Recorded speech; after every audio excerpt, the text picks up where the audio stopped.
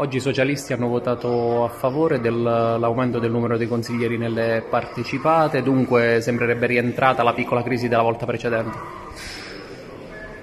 No, non c'è stata nessuna crisi la volta precedente e pensiamo dall'inizio che eh, la democrazia, quindi nell'allargare i CDA senza ulteriori aggravi di spesa, sia una forma di democrazia più ampia, di partecipazione più ampia dei componenti del CDA. Ci andrà tutta gente qualificata, questo è poco ma sicuro, non, eh, non c'è nessun aggravio di spese, quindi siamo favorevoli.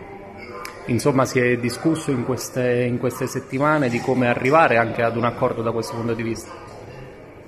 Si è discusso come arrivare a un accordo eh, anche su su quelle che saranno le indicazioni dei partiti, ma ovviamente saranno indicazioni di gente che dovrà eh, lavorare e dare il massimo per risollevare le sorti delle nostre tre municipalizzate, che non sono rose e fiori.